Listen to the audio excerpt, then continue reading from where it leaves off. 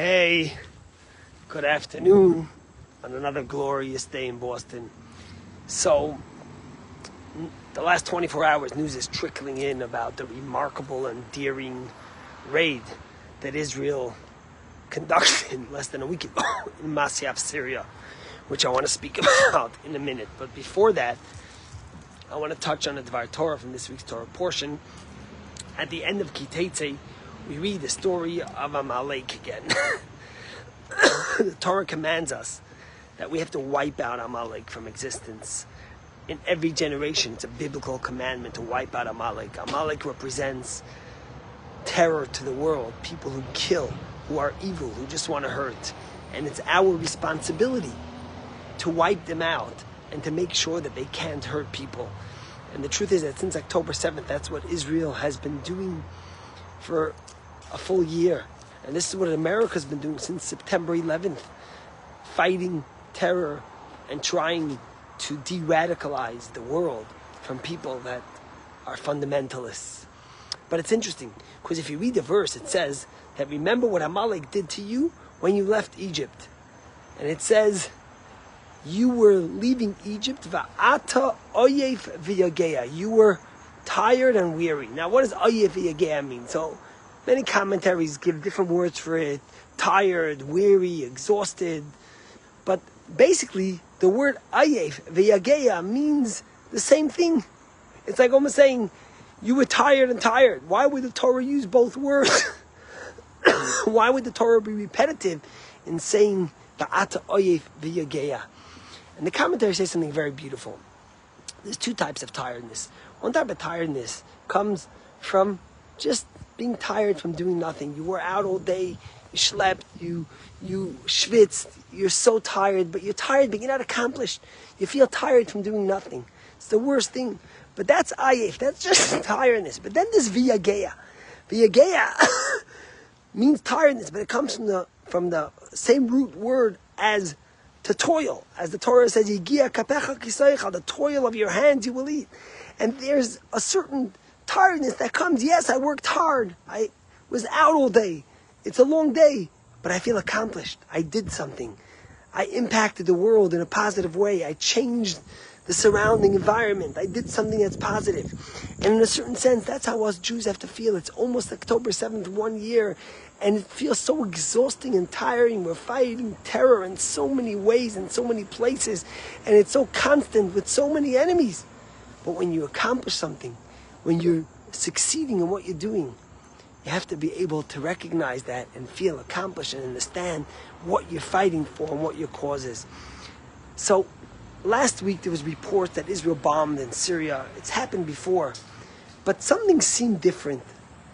And yesterday, on Syrian opposition news, and later trickled on and confirmed by Israeli news, we found out what happened.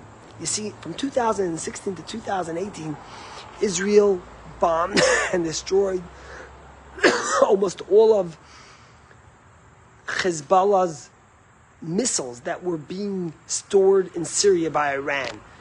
Iran has all these proxy wars they're fighting, all to hurt Israel. And one of the main ones is Hezbollah. But how do they get these precision medium missiles to Hezbollah? So they were building them in Syria. And Israel destroyed most of them. So then they came up with this idea. In 2018, they began, began building a missile factory of precision missiles underground in Masyaf. And the reason was twofold. One, Masyaf is near the border to Lebanon. So if Hezbollah needed it at any point, they would be able to get to them quickly. But another issue was that Masyaf is deep in caves. The terrain is very cavey. And they sort of how Iran has built their nuclear bombs and nuclear facilities in Iran, they've built it into mountains so it can be bombed. And Israel's been monitoring it since 2018. And Israel realized and acknowledged that it's not going to be able to bomb it because of the terrain in Masyaf. And Israel came up with a plan through Sayeret Matkal, which is the elitist unit in Israel, Sayeret Matkal 1, where they were going to go in there and raid it and bomb it from within inside. Twice they called it off for danger, but last week they were successful. Imagine what they did. They came into Masyaf, which is very far from Israel, and they had helicopters and the the IDF's Air Force protecting the perimeter the entire time so no reinforcement could come. Meanwhile, they had these Sayeret Matkals from helicopters coming down on ropes. They went in, they surprised the Syrian guards and killed them. And then from within, they destroyed and explode, put in explosives and destroyed the entire place. All these precision missiles, medium precision missiles that could all hit Tel Aviv and all over Israel that they were planning for a long time was all destroyed and wiped out. A remarkable feat that puts them back so far.